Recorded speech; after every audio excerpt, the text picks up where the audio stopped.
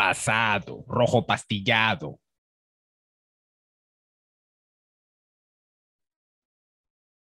Hola a todos, soy su amigo Elton Joel y ya saben que yo soy basado rojo pastillado. Por fin y por primera vez, Maribel Domínguez, Marigol, habla de su destitución como director técnico de la selección sub-20 femenil. Ella dice que aceptará cualquier resultado de las investigaciones, aceptará las consecuencias, pero también habla de la gente, me incluyo incluso, de la gente que en redes sociales y en YouTube está hablando del tema.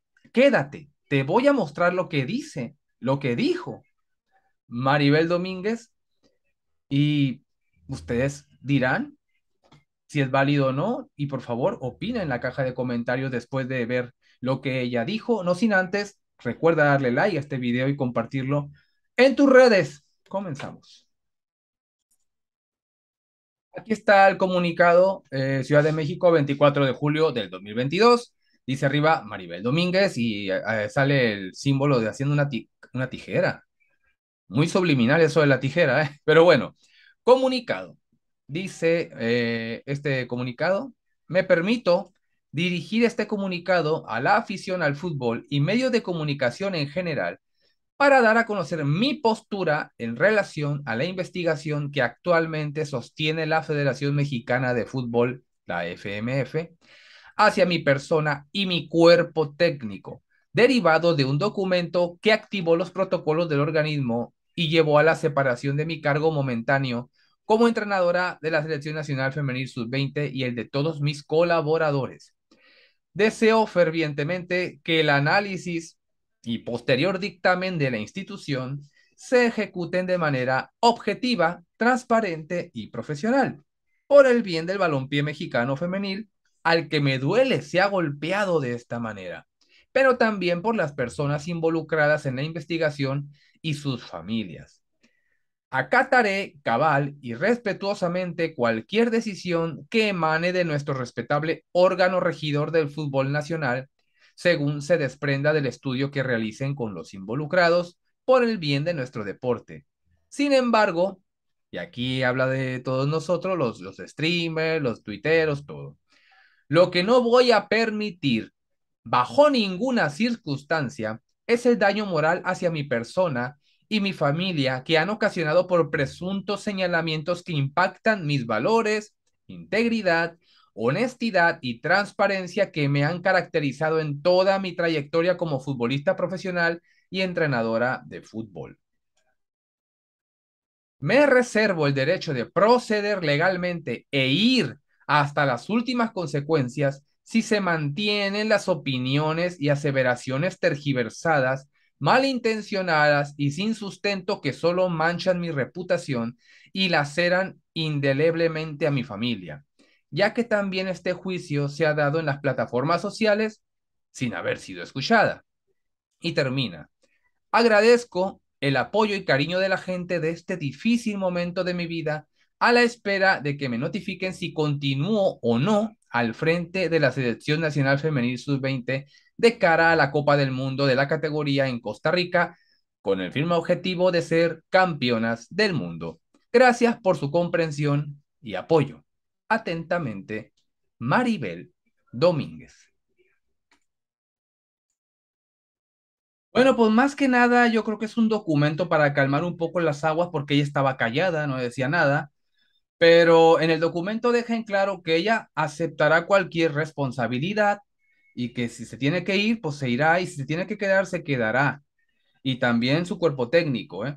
Pero sí deja en claro, habla de redes sociales y de los streamers en cierta manera que hablaron del caso, que la acusaron directamente a ella o no la escucharon, en vez de escuchar su versión, hicieron la, la acusación directamente, es decir, creyeron en la nota que salió en Twitter.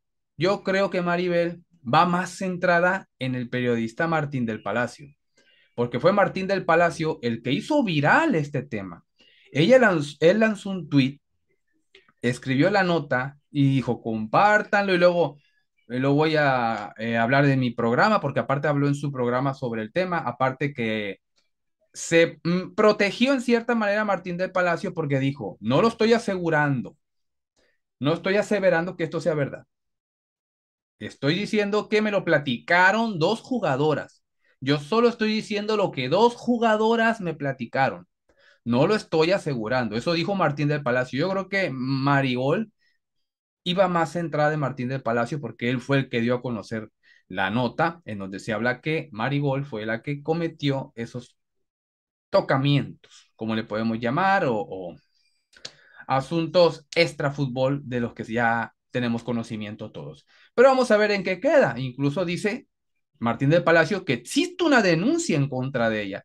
Ya se verá con el tiempo si Martín del Palacio tenía razón y es verdad todo lo que dice, o esto resulta ser eh, pues una acusación falsa o un malentendido y Marigol sale librada de esta situación y vuelve a su puesto o por lo menos limpia su imagen porque en redes sociales pues prácticamente se habla de que ella por sus preferencias cometió esos tocamientos con esas jovencitas menores de 20 años. Entonces, el video que yo hice era más centrado incluso en Marion Reimers que en ella. Yo leí la nota de Martín del Palacio, yo dije, esto es lo que se le acusa a Marigol, y entonces Marion Reimers la defendió de la peor manera que la pueden defender, porque si Marion Reimers la hubiera querido defender, tan sencillo como decir, aún no sabemos si esto es verdad, así que por favor, eh, no hablen antes de tiempo, esperemos a la resolución de las investigaciones a ver si Marigol es culpable o no. Pero si lo hubiera hecho, le hubiera salido también el tiro por la culata, porque cuando salen otros asuntos muy parecidos, donde los hombres son los culpables, o al menos los presuntos culpables, ahí sí no dice que se esperen hasta la investigación, no, son culpables y ya. Y sigue pasando esto, ¿no? Pero como fue Marigol, a ella sí hay, hubiera dicho, hay que esperar, que hubiera sido lo correcto, hay que esperar, a ver qué dice. No, la defendió de la peor manera. Es que la justicia patriarcal y mira cómo... En serio, yo sigo, yo lo sostengo, yo sostengo. Marion Reimers es una periodista nefasta, narradora nefasta, comentarista nefasta, feminista nefasta. Así es que yo eso sí lo sostengo. Lo de Marigol, hay que ver si va a ser verdad o no, o va a ser una acusación falsa. Pues vamos a verlo, por favor.